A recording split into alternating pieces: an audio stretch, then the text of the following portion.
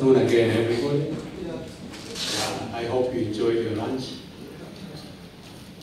Yeah, this has been an, uh, an exciting forum uh, for all of us. Uh, it's been like a think tank, like yeah, there's a lot we have to learn from the South African perspective. Uh, today I stand before you. Uh, I really enjoyed the presentations from yesterday. There have been the in-class presentations, they've been very exciting, and today we had the cast presentations. Uh, we had a very exciting uh, panel discussion uh, both the regulator and Mr. Paris Machina. So it was quite an experience. I mean, it was quite uh, experience sharing for all of us. So uh, I'm here also to share where we began in Tanzania, the challenges that we met, where we come from, and where we are now. So before I go on, I have a few things to share with you.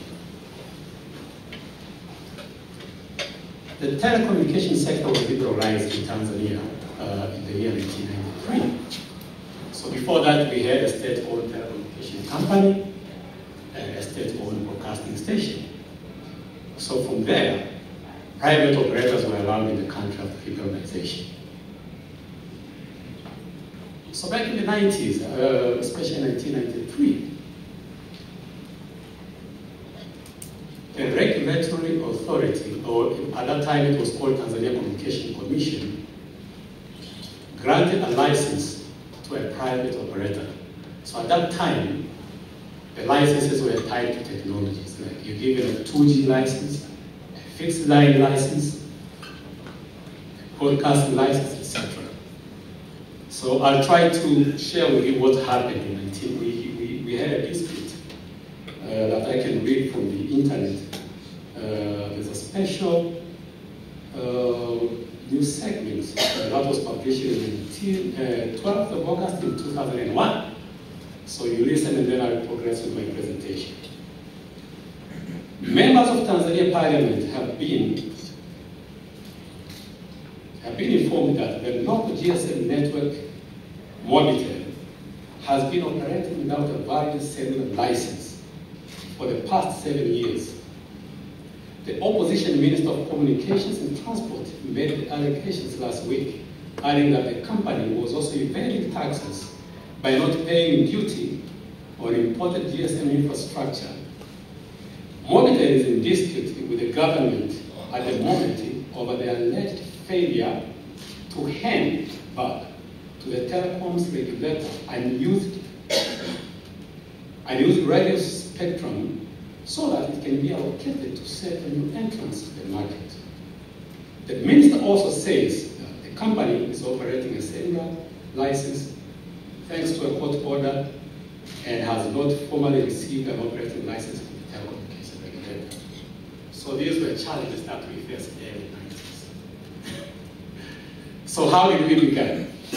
So let me take you through my presentation and we share experience and see how we move forward and where we are right now. Okay? So you can see the exponential growth in voice uh,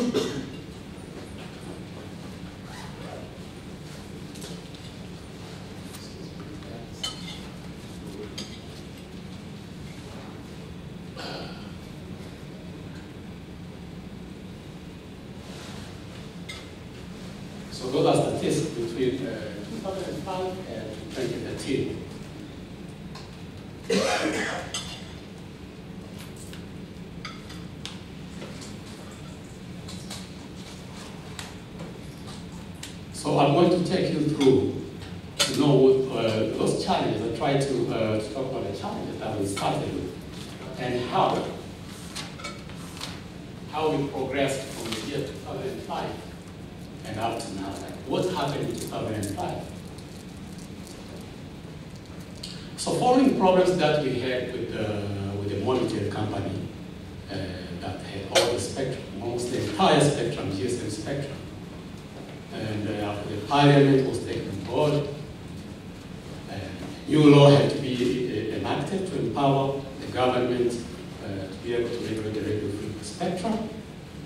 There was a major policy revolution in the country in 2003. Excuse me, maybe I should. I should no.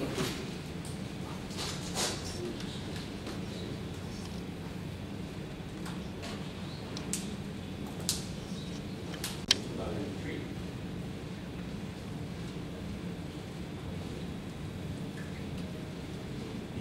Okay, there we go. So this voice and impact penetrations. Here's the voice image.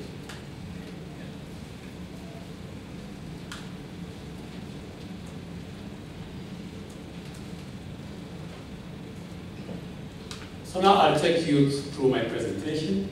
Uh, the agenda is background. I'll go through the regulatory framework. Why is it important? Spectrum planning and assignment. Uh, incumbent operators, when you have change or what do you do with incumbent operators? Planning for spectrum sharing. A lot has been said that we have new services, new technologies, uh, such as TV white space. So we see what happens. We have statistics, and then I'll conclude. So as I said earlier, we had major policy reforms in the country. So in 2003, after all the problems that we had, uh, we had a new policy, it was reviewed. So the National ICT Policy of 2003, the National Broadcasting Policy of 2003. And as a result, we had to converge. So we had separate regulatory bodies, one for content and uh, another one for communication services. So it was necessary that they converge and work together. Uh, also on the broadcasting side, the Tanzania Broadcasting Commission will give you a license to operate content service provider, as a, as a content service provider, and the TCC or the Tanzania Communication Commission will give you a spectrum. So there was no coordination between these two uh. So there was TCRA Act, uh, which established the authority, which is a governmental authority. So how did we go? We adopted the convergent licensing framework. It was necessary. So we thought like it doesn't work. Like, uh, having licenses tied to technologies it was quite cumbersome uh, to be able to, to allow the industry to boom.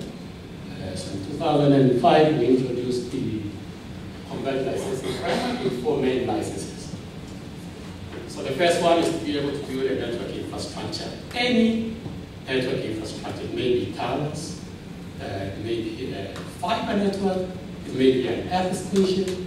So we, whichever infrastructure uh, that you build as a conduit, you're given a national, or I mean, you're given a network facilities license. Network service for, for provision of uh, uh, telecommunication services, application services uh, for services such as internet and other applications like uh, mobile money transfer, and lastly, content services license. So those are four main licenses within the content licensing framework. So within that one also, uh, we introduced four market segments. So the first one is international, like for those ones who operate the gateways, national, regional, and district. So we wanted inclus- inclusivity for local and small players as well. So those ones uh, are given license and license.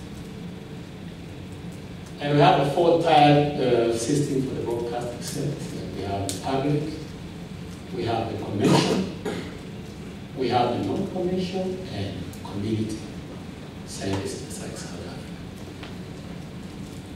So what we see as opportunity in the conventional sensing framework. So we believe that it promotes innovation and masses in technology services. Why? I mean, uh, at this time of the introduction of this uh, category of, uh, of licensed development, an incumbent operator, let's say, uh, let's uh, a mobile operator, does not need a new license, does not need to go through the houses uh, of applying for a new license if they have to upgrade their networks. A good example is the introduction of 3G in the country. They didn't need to go for a new license. They didn't, they didn't, they did not go to, to, to, to all the houses and get another license. All they had to do was to upgrade their networks, come and do a presentation to the regulatory authority, and then we give them go ahead. So we believe uh, it gives consumers a choice uh, because you have a number of operators competing, uh, because you allow innovation. So compute, uh, I mean, consumers have choice, diversity, and the services, uh, services become affordable. so it eradicates the service urbanization and imbalances because if you have uh, district license means like uh, you, you have all those balances, especially underserved areas as the authority, and you decide to, to give them a priority. Okay, market segments promote competition, that's what I've said. In 2010, uh, we, uh, the Parliament of Tanzania enacted a new law electronic and post communication law, which embraced the digital migration. So under this one, we had the Digital and Other Broadcasting Networks Regulation 2011 and the Radio Frequency Regulations 2011, which now empower the authority to be able to regulate uh, the spectrum efficiently and a converged uh, environment. So it removes all the problems that we had previously, like all the court cases and litigations. And because now we have all the powers to be able to balance and to see where the industry is going. We can retrieve the frequencies, uh, we can do the farming, uh, to be able to, to make the, uh, the industry move. The challenge is that we believe it doesn't give room for reassignment of spectrum for new technologies. So like we, we, uh, we, we, have about four major players in Tanzania that were granted uh, network facilities license network services license to operate mobile services. So they, they have a GSM, they're holding the 9 megahertz, I mean 900 megahertz uh, using the GSM technology and the 3G. So we, we have new technologies coming like the 4G and 5G. So we believe like, uh, because the CLF, the Convergent Licensing Framework, is technology and uh, service neutral, we don't have the powers to be able to tell these people to vacate uh, those bands and deploy new technologies. So it may lead to collusion among operators, incumbent operators, to, to prevent competition. Okay, so the second will be spectrum management. As I said earlier, the Electronic and Post Communication Act 2010 empowers the authority to manage the radio frequency spectrum. So we have planning and assignment mechanisms that allow within the uh, this legislation. And regulating the airwaves, uh, we have the electronic post communications, radio communications, and frequency spectrum regulations of 2011. So previously we had the 2005 regulations, which we had to review uh, following sector development. So it was time to first come, first served. And I mean, uh, at that time we we believed that this one would work better. And then later, lacks uh, good governance. And, uh, so we decided to go for the beauty contest, which is a competitive tender process for high demand spectrum. So this has been used in the implementation of digital terrestrial broadcasting. And it has been adopted effective uh, last month in Tanzania. So with the, with the beauty contest, how do we choose uh, the operator or the candidate for, uh, for the spectrum, the competitive spectrum? So rollout commitments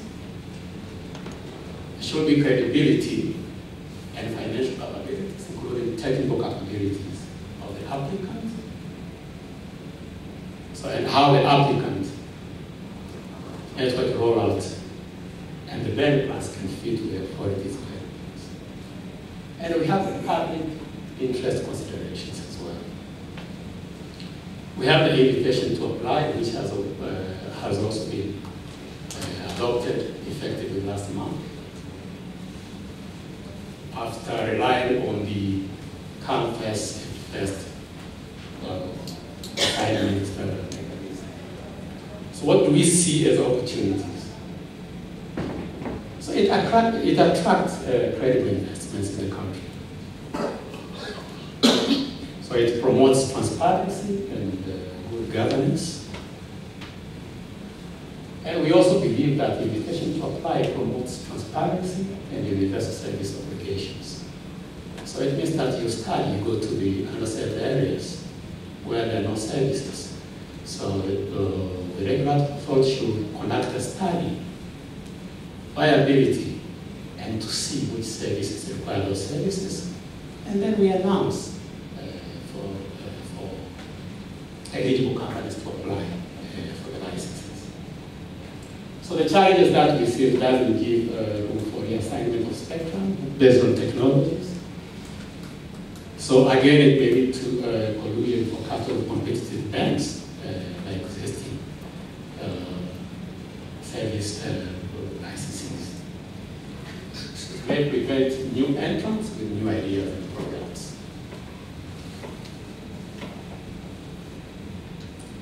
So the new regulations empower the authority spectrum refarming.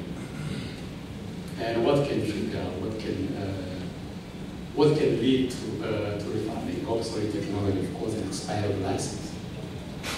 Uh, for example, the, the example that I mentioned earlier, that we had monitored. Uh, they had deployed, I mean, the analog technology, the cellular technology, and then immediately there was digital technology, GSM technology on board. So it was not easy for the authority uh, to be able to accommodate. So the current regulations empowers uh, to be able to perform such activities. There's overriding public interest uh, changes in technologies and services like the DD1, and the affected parties are given adequate notice, and new licensees pay for the cost of express.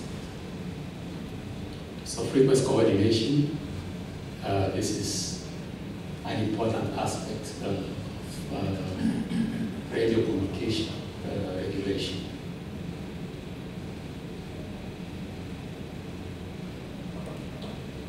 What do we do with incumbent operators?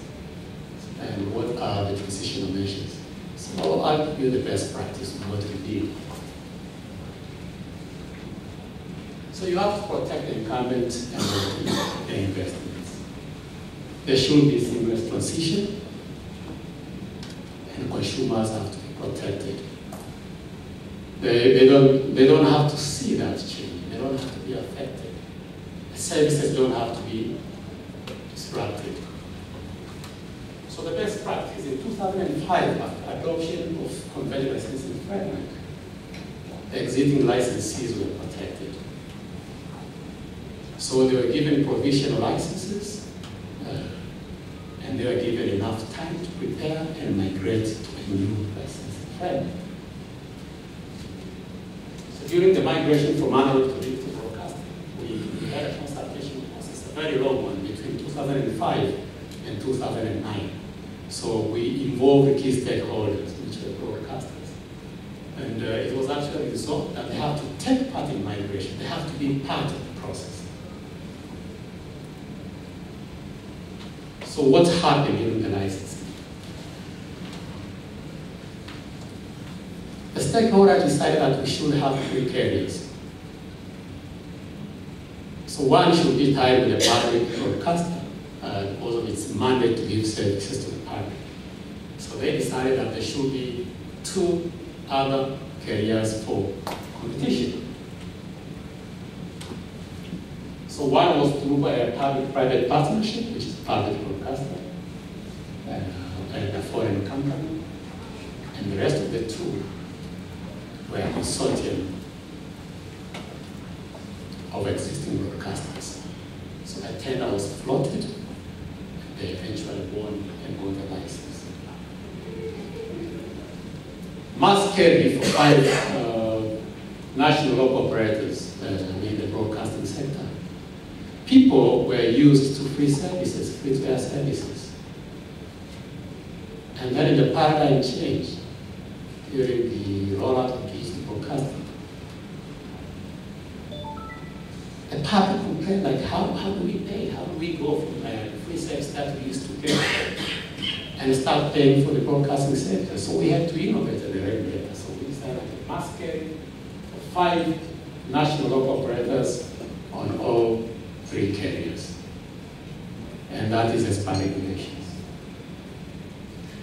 So we have spectrum sharing. There have been uh, exciting and very interesting uh, presentation on the TV white space. So we, we are undertaking study on spectrum sharing now, uh, the TV white space. And I think I would like to, uh, to add my fellow regulators in Africa, like to, uh, to have a section that uh, deals with R&D, research and development, uh, within the policymakers. It's, it's quite important uh, to look at these uh, new services uh, and develop uh, appropriate licensing regimes for social and economic benefits. So regional harmonization is, is very important. Now we, we have ATU, we have the SADC, we have the East African Communication And I believe uh, this will catalyze the development of the sector uh, within the African region. So we have regulations that allow the authorities, as I said earlier, to decline the farm and reallocate and reassign spectrum based on public interest uh, social economic developments, new innovations. Uh, we have about 18 regulations uh, from uh, the spectrum USA area, competition, uh, interconnection. All these have made the industry boom in Tanzania. So I'll take you through the statistics. So we have three national DTT carriers, three multiplexes each in every service area of the country.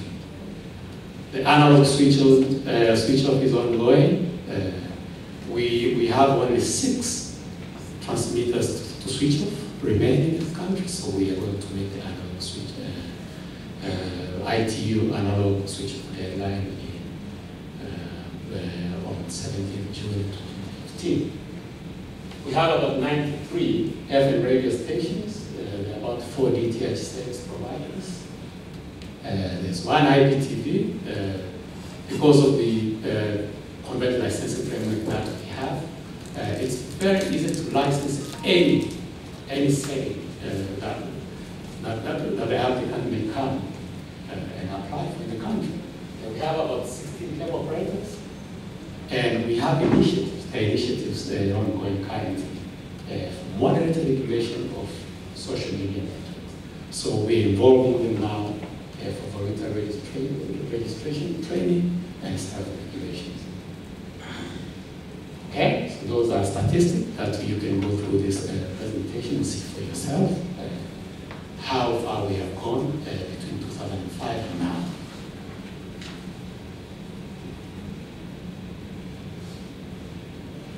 So I'd like to conclude. What do we think are the drivers for the, for the development, for what we have done? You can see for yourself the statistics from 2.9 million in 2005 to 28 million subscribers Uh, I can say uh, this is more than half of the population of the country. So we have licensed DTT under competition under the existing regulatory framework. So the DTT fitted very well. Uh, there was a national network facilities uh, for the three carriers, and the broadcasters are given content service provide a license which is within current uh, framework. So the DTT and DTH, we have over 1.5 million subscribers uh, in the television industry. The radio penetration is close to 98%, uh, thanks to the FM uh, technology in the country. Democracy, people democrat, uh, democratized. Uh, people have access to information, yeah, from telecommunications, data. Yeah. They enjoy a variety of services uh, voice, mobile transfer, data, etc., etc. So we have increased innovation in application services, where we have more than 90 uh, application service licenses in the country, uh, providing various value-added services uh, in the country. So increased use of broadband services. We have 18 pieces of uh, sector regulations, as I said earlier, and employment boom in the sector. I would like to thank you for listening to me. Uh, this is a forum, and uh, uh, I felt like it's, it's a good way of, uh, sharing your experience. So let's discuss. Thank you. Thank you very much.